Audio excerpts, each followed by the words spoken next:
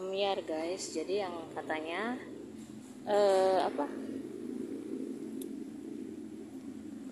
Panggilan kerjanya yang tempo hari dia bilang suruh datang hari ini langsung pelatihan.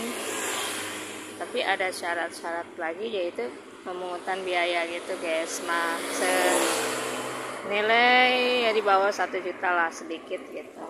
Jadi kalau tanpa melunasi uang biaya yang alasannya adalah untuk membayar seragam gitu. Tidak boleh menindaklanjuti eh, pelatihan gitu. Jadi di cancel sampai menunggu uang itu ada. Ya silahkan dari sini sudah terlihat jelas ya bahwa mereka ah, mengambil karyawan itu dengan jaminan-jaminan uh, uang itu katanya yang akan dideposit yang dengan kata lain suatu hari uang itu bakal dikembalikan. Ah bullshit. Bener kata si abang supir kemarin saat curhat. Pengembalian uang itu tidak akan mungkin terjadi gitu. Ya cukup pengalaman aja sih. Mungkin Tuhan belum mengizinkan uh, gue untuk terjun ke bidang lain selain dunia film yang memang saat ini digeluti dunia yang paling indah di Jakarta. Pekerjaan yang paling bagus pekerjaan yang paling mahal pekerjaan yang paling enak ya udah. Mungkin Tuhan belum mengizinkan gue untuk bekerja di perusahaan lain selain di film gitu ya. Intinya ambil positifnya aja. Kemarin sudah memberikan uang 10% ya udah anggap aja sodakoh lah ya. Jadi kayak ragu untuk meneruskan sih sebenarnya. Jadi dengan iming-iming uang muka kayak gitu jadi males gitu yang disangkanya eh, perusahaan ini loyal ternyata nol besar gitu setelah diteliti. Pantas saja yang mau wawancarai kemarin itu ngomongnya pintar banget. Gini gini gini gini gini ngomongnya kayak gitu. Eh buset gue bilang gue kagak ngerti. Yang kemarin ngomongnya cepet yang ini ngomongnya nyaris nggak kedengeran yang laki. Baswe. Ada baru aja bang dapat kerjaan ya Allah tunjukkan kuasamu jadi gini kan ini baru ketawa sih guys gue udah pagi-pagi bayangin ini jam 7 guys belum jam 8 loh. Gue udah kayak uh, harus pulang lagi ke Bekasi gitu. Kan lucu belum ngapa-ngapain gitu. Gue belum ngapa-ngapain.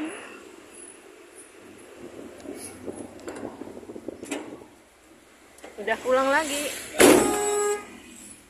aduh keren banget berhenti di tengah jalan motor emak lu sendiri kayaknya.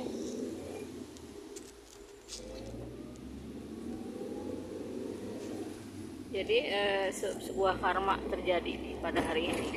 Bahwasanya kemarin gue pernah mengatakan seorang gitu pas pulang jam 9 pagi ya 10 pagi lah. Aduh kok kosong sih kereta? Ya. eh bu ke mana aja bu kemarin pagi-pagi pada berjejal mau berangkatnya pada balik. Nah ini balik ke gue.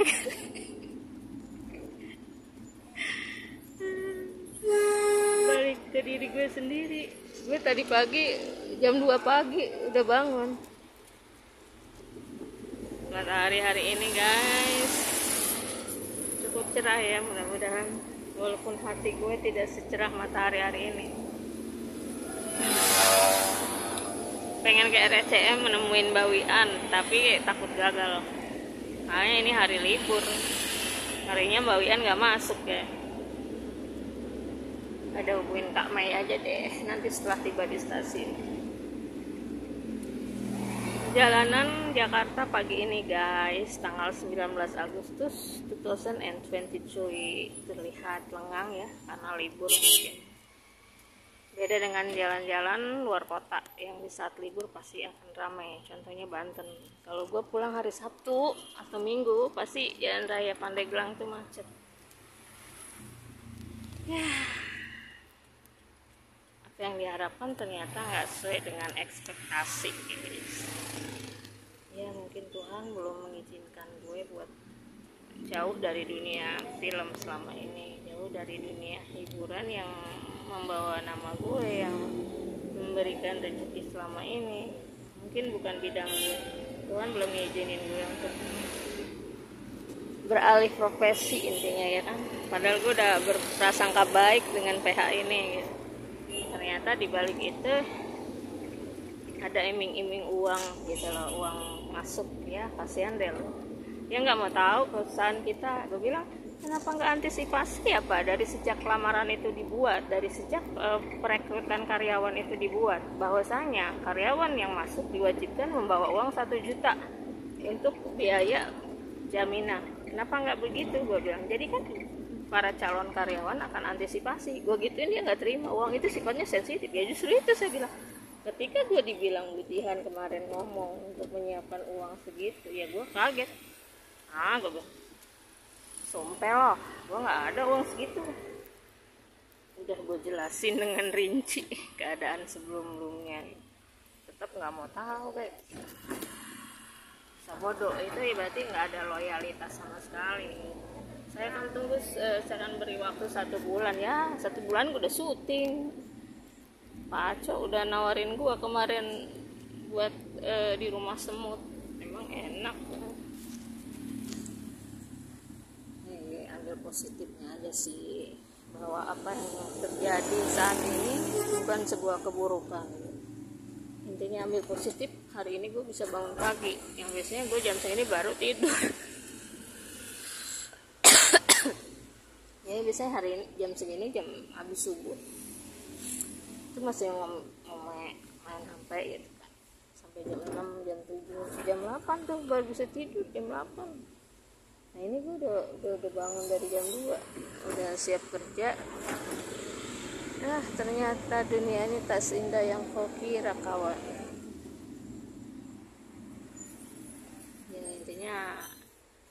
Harus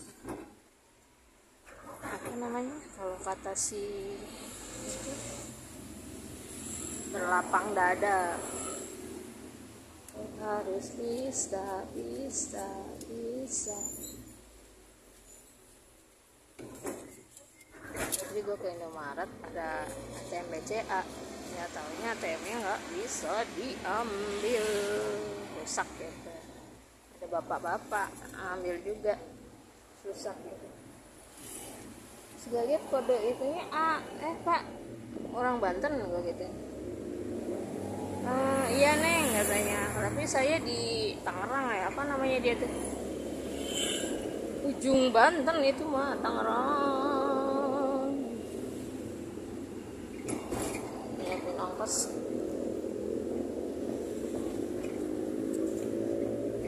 bapak ini semangat sekali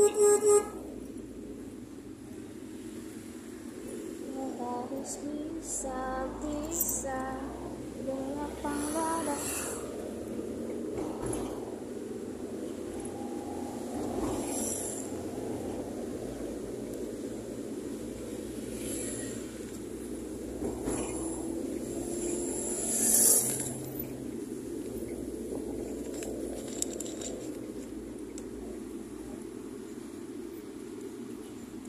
hari minggu hari Sabtu in masuk.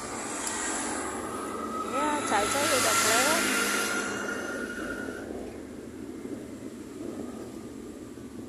Ini gue ke warteg yang sama. Videonya gue bikin.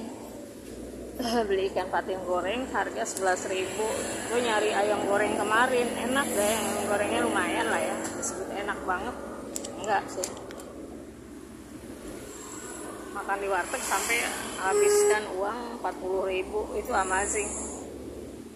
Eh ada manekin manekin. Banyak banget manekin.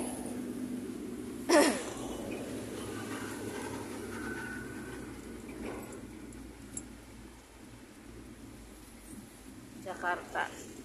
Mau ke ibu tiri aja masih lebih baik dibandingkan Jakarta. Nah ini gue dulu pulang dari Banten di sini nih nungguin grab. Nggak salah sih ya.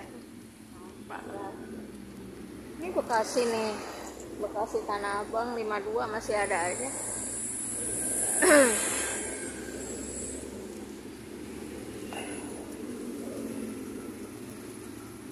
Sesuai ekspektasi. Depan ya om bisa bisa oh maaf loh sih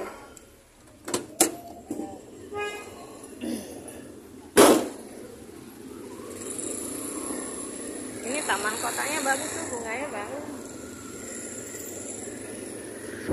Nih gue pernah beli baju apa celana terus pernah beli kaos kaki pernah beli daleman kerudung di sini.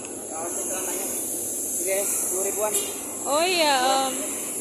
Sepuluh ribuan katanya kata omnya. Nah, ibunya jual iya mak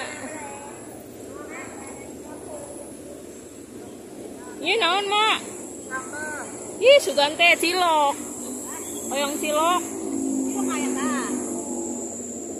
Bara ieu. Dua ribuan. Nyata nak mak nan tengah gua hampas. Nyata mohon sabaraha? Ih. Hah? Mak, nganggo hampas itu. Mohon, hei mak aya berambutan tak tingali. Ih. Buuk, buuk. Sama eh buuk, Mak.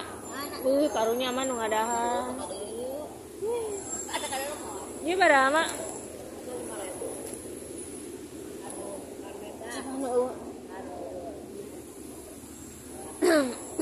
Mak. Iji. Kalau kasih nama Iji. Berapa